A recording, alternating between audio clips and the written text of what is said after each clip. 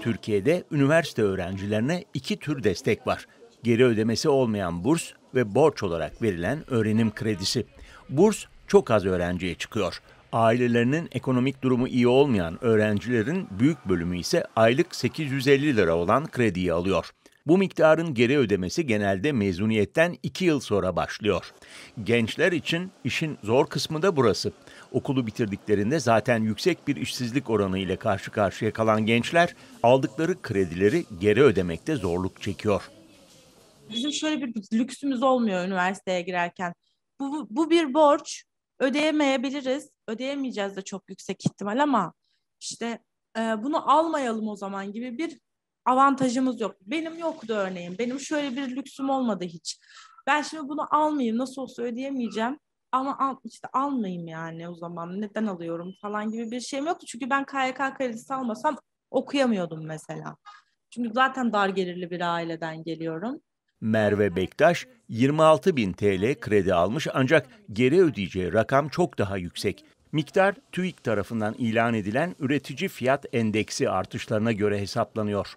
Bu da Türkiye'deki yüksek enflasyon ortamında çok yüksek artışlara denk gelebiliyor.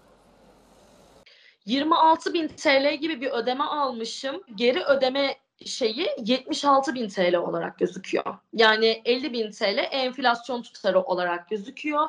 Ee, 2024 Temmuz ayı geri ödemeye başlama tarihi 1600 küsür lirada her ay ödenecek tutar taksit olarak gözüküyor. Yani ne kadar doğru olur bilmiyorum ama tefeciden borç alsaydık bu kadar faiz işlemezdi yani. Peki bu kredilerin geri ödeme taksitleri zamanında ödenmediğinde ne oluyor? Süresi içinde ödenmeyen kredi borçlarına her yıl günlük gecikme zammı uygulanıyor. Siirt'te siyaset bilimi doktorası yapan Mehdi Pekedis de krediyi ödeyemeyip icralık olan öğrencilerden. 2019'da yani yüksek lisans bitirdikten sonra doktoraya başladım. Bir de onun kredisi var.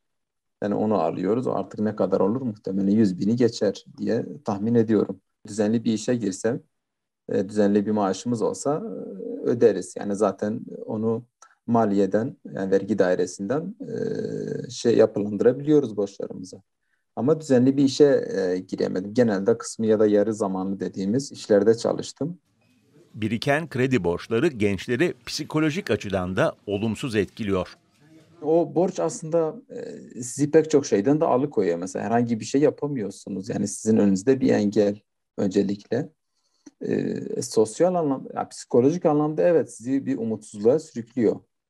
E, yani orada o süreklilik kafanızın e, bir yerini kurcalıyor yani duruyor orada. Hepimizin farklı bölümleri var. Herkes e, farklı bölümlerde üniversite okuyor. İşi çok şanslı gidip çok iyi yerlere gelebilen var ama e, işi hiç şanslı gitmeyip yıllarca işsiz kalan insanlar var ve buna bir çözüm getirilmeli diye düşünüyorum ben. 2021 itibariyle 5 milyon öğrencinin KYK'ya borçlu olduğu 400 bininin de icralık duruma düştüğü hesaplanıyor.